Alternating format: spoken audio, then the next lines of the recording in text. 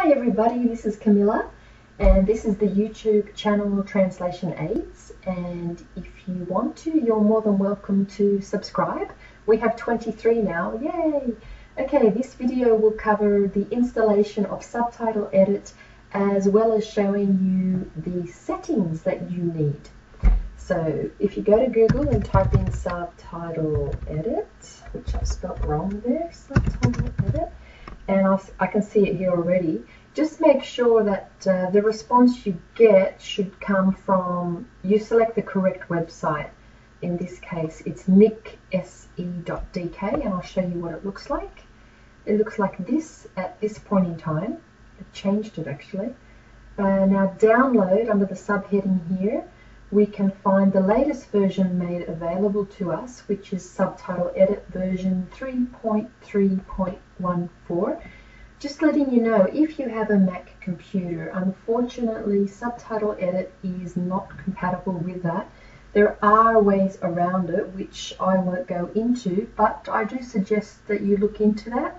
Or alternatively, um, actually the best thing would be to first speak to your country office before you even do anything um, that can handle that situation. Now click on that and it takes you to a new screen. Just bear in mind that this screen actually has quite a few different downloads um, and even including some older versions. See here it says 3.3.12.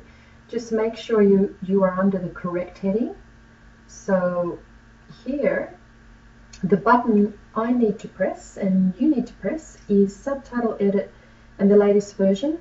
If you have a later version made available to you at another time, then of course press that one. But for now, it's this button. Click on that and I get this little screen. I'll click on OK and up pops up uh, this screen and I'll double click on this application. And here we go. Yes. Okay I want mine in English. If you want yours in another language just simply click on this little arrow and the Dropbox menu appears. And uh, you might want to Suomi for example or Svenska like that. But um, I will have mine in English and then press OK. And then we get the wizard click on next. Here we get the license agreement. Click on I accept the agreement. And uh, after reading through all of this over a cup of coffee or two you click next. And here I will accept the default location. Click next Select components, leave them as they are. The default settings are fine. Click on next and click on next again. Select additional tasks. Create a desktop icon that suits me fine for the current user only or for all users. That's up to you, whatever preference you have. Now we'll click on install and look at that, it's quite fast. It's a good idea to always keep your subtitle software updated because there are regular updates. There might be a bug fix or, or an improved function. And as you can see here, this particular version was created 23rd of February 2014 and they've even written here in this big long list what they have improved. And now we'll click on next. Complete subtitle edit setup wizard click on the Launch Subtitle Edit box and then on Finish. And by the, I actually have installed this before, so if you haven't, this is what the screen will look like when it first opens up. It won't look like the screen I just had one second ago. And um, what we'll do here, see these little icons? Instead of going to the menu, show, hide waveform and show, hide video, we have little buttons for them.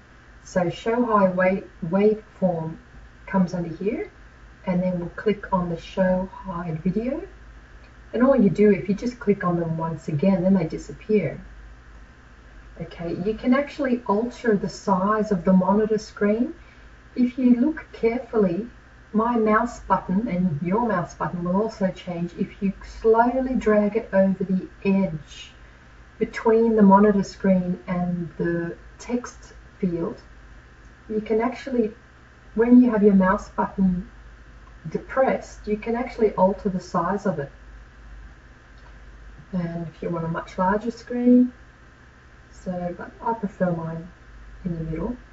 And even with the waveform, I really can't imagine too many people wanting a much larger waveform than what it is, but just so that you know, this is how you alter it. When you drag your mouse button over the edge, the cursor changes into two arrows, one pointing up and one pointing down. And when you're when it, you drag your mouse over here, the it changes into two arrows, one pointing to the right and one pointing to the left. And that's when you can click your mouse button, keep it down and drag it.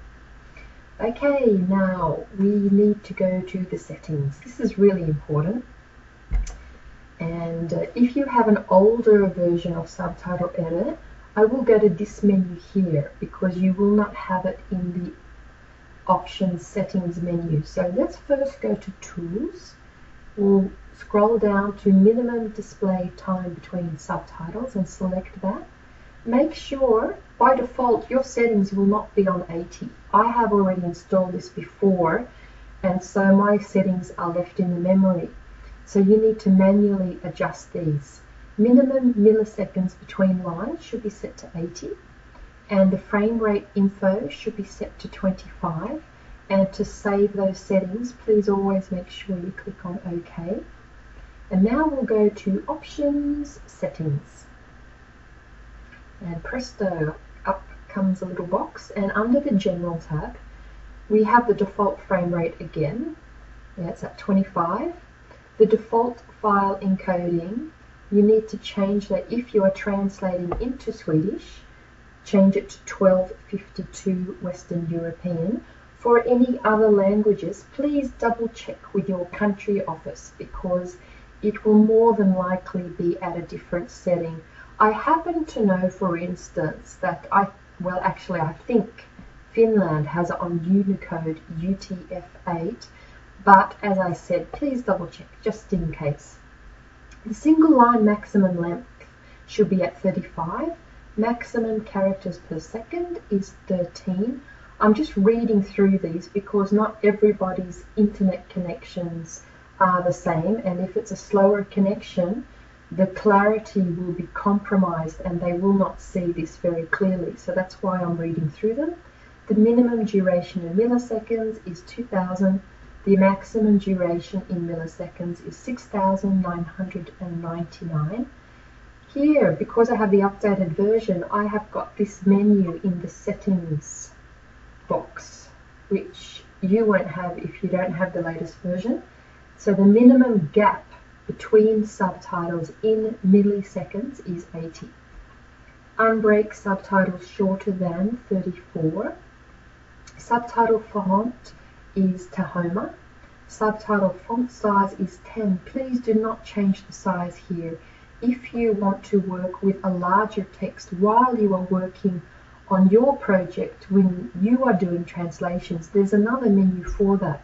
But please leave these as they are and even the colors, leave them at default.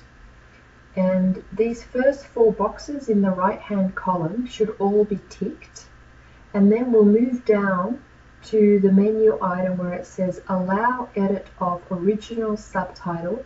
Please have that ticked as well as the prompt for delete lines. Have that ticked as well. And time code mode uh, you will need to change that because I think by default it's on the other menu item. It should be in hours, minutes, seconds and milliseconds. If it isn't, click on the little arrow and select it.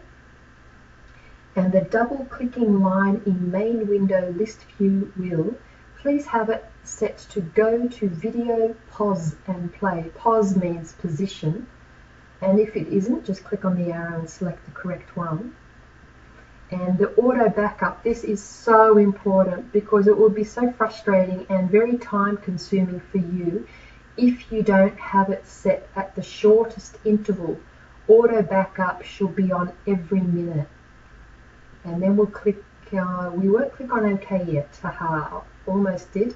Now we'll go to the video player tab and the video engine should be on VLC media player and these three boxes should all be ticked and now here the subtitle preview font size by default it's set to 10 but if you want to work with a much smaller or much much larger text when you're working on your project so that you can see better um, then you can just change it here this is the only item where it's flexible and this is not the size of the text that the reader will see when they are reading your subtitles when when the product is finished. And these are here by default, they're handy, so we'll leave them as they are. Now to save our changes, please make sure you click on OK. If you click on cancel, it will actually not save any of those settings click on OK.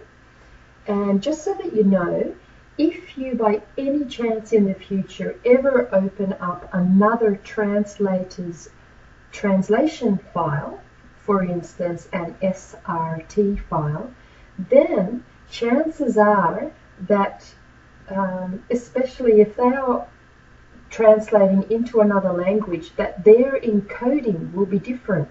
So when you open up their file, it, this encoding will change automatically to whatever their encoding setting was placed on. And when that happens, you need to be mindful of always checking this, changing it back. But that's not enough. You actually need to either A, overwrite their file with your correct encoding, and to do that you go to File and then Save, or if you don't want to overwrite their file, but to save that file in another name so it keeps your encoding, then you just simply go to File and Save As. And um, that's pretty much it for now, except there is one other thing which was, is really good. Remember how in the settings menu you had auto backup saved to every minute or set to every minute, you go to File and if you lose your work or if you've done a mistake or if you've imported text or done anything where it has actually altered your translation to such a degree that it's so much easier for you to go back to an older version of your translated work, then this is the menu item you go to. It's File, restore auto backup. And what you do is you look at the time and the date.